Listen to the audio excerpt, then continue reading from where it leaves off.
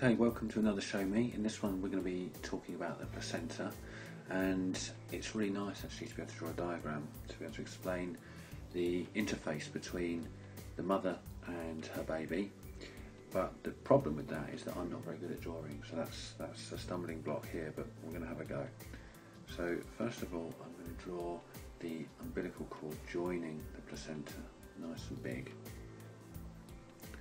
Just going to go a little bit like that and the layer here that is the amnion. And what we need to do is we need to draw on the chorionic plate.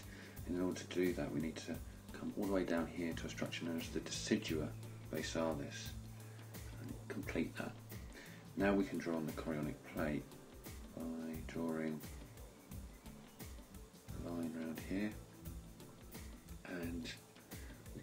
the interface between mother and baby by putting on some of these placental septa, which are these sort of projections up from the mother, which contain blood vessels uh, and increase surface area. So we put a few of those on as well. So we've got our amnion at the top. This is our umbilical cord in here, and we will put on the vessels inside in a moment the bottom here in there we have got what's known as the decidua basalis.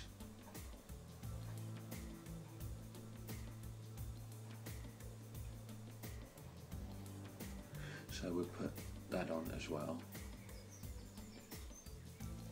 Now coming down from our chorionic plate, which is this area in here, so this area all in here is part of the chorionic plate. What we need to do is we need to make space for some of those main stem villus to, to actually come through. So we'll create a few spaces here for them to project into the uh, into the space that's really going to become the intervillous space, which is the area between the mother and the baby for exchange of nutrients and oxygen, etc. These, my drawing isn't particularly good here, but this is supposed to be a villus. Uh, probably don't look quite like they should in the textbooks, but you get the idea. So that's my villus. And now we can start to pop on the arteries and also the veins and, and, and let this placenta take a little bit of shape. So first of all we're going to have single vein. Remember, I'm drawing the umbilical vein in red because the umbilical vein is the supply of oxygenated blood and nutrients travelling from the decidua basalis, the area of the uh, mother, so the interface in the placenta which belongs to mum, and that is going in this direction. So we need to just draw on an arrow to point the direction that's going on. So we're going to have one of those and this umbilical vein comes from the chorionic plate. So where I'm now drawing the vein is the chorionic plate. So that's this area in here. So in here we have chorionic plate. I'm just going to abbreviate to CP. And there's one on the other side as well, chorionic plate. And these blood vessels, of course, are going to dive into, oops, wrong colour, need to get rid of that, go back to red, they go into here, like this, and of course there would be more of these.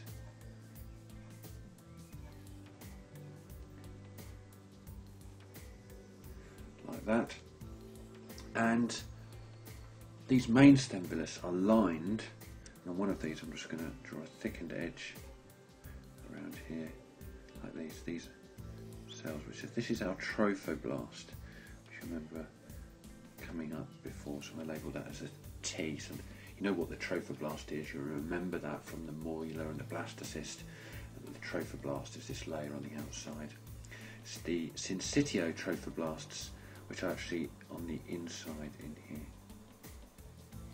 I think sometimes pronounced syncytio trophoblast, so we're just going to put S um, T CTB for syncytial trophoblasts, and not really evident or something that I can draw on particularly well on this diagram, but actually very close to the lining of the actual blood vessels themselves and just kind of dotted along here and I just do it in this pale colour dotted along in here around these uh, these blood vessels these established veins that will eventually travel in the umbilical cord are the cytotrophoblasts. So that would be there. So there's actually three layers. So let's just clarify that. So I've got CTB so from going from the outside of this placental villus, we have the trophoblast lining the outside of the villus. The next layer, or the stroma that sort of takes up the majority of the villus, is the syncytiotrophoblasts. And the cytotrophoblasts, which I've drawn as these kind of orange dots, they represent the innermost lining of the, of the blood vessels there as well. So these are actually called, so one of these, this is the most highly developed part of the exchange between mother and baby, and this is called a tertiary uh, villus.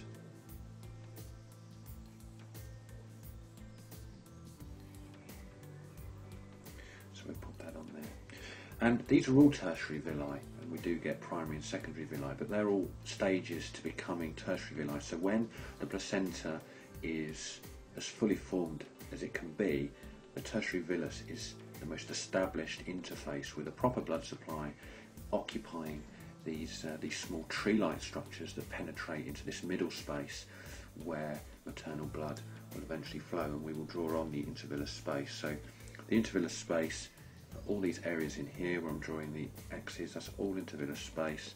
Just to show you where that is, I'll get rid of those now. And what we'll do next is, so I've got rid of these, we'll just draw on the blood supply from the mother's side. So what we need to do now, we need to go down to the decidua basalis, which is the mother's part, the developed part her uterus that's now fully formed into a placental interface. And we need to just make some spaces here for some of these blood vessels to come from mum. And so we're going to get some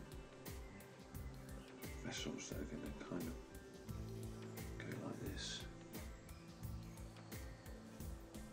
So some indentations into the decidua. And we're going to get these blood supply coming from mum and these are known as the endometrial arteries and veins. There'll be some veins in there as well draw the veins. And these feed into the intervillous space. These are endometrial arteries. Sometimes they're also known as spiral arteries because of the way they spiral into the intervillous space. Okay, so now we've drawn on some blue representing some of the veins of mum and we can see how blood would occupy the intervillous space. We now need to draw on the two umbilical arteries which would be inside the umbilical cord and these kind of wrap around I said my drawing wasn't very good and I didn't lie these kind of wrap around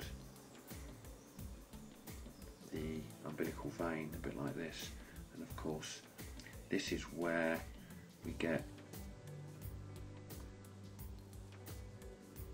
the umbilical arteries which let's just label this in blue umbilical artery. This is two of those from the baby which are returning nutrient deficient blood and oxygen deficient blood to mum and they occupy the villus in the same way as we saw the umbilical vein occupying these tertiary villi. So we can pop those on as well. So hopefully that helps you understand the placenta a little bit more. Let's just finish by just labeling these areas. So we have a section down here, which is mainly, this is the maternal section, I guess. We also have a middle section in here, which is kind of the interface that's kind of occupied by both the fetal and maternal sections, that's middle.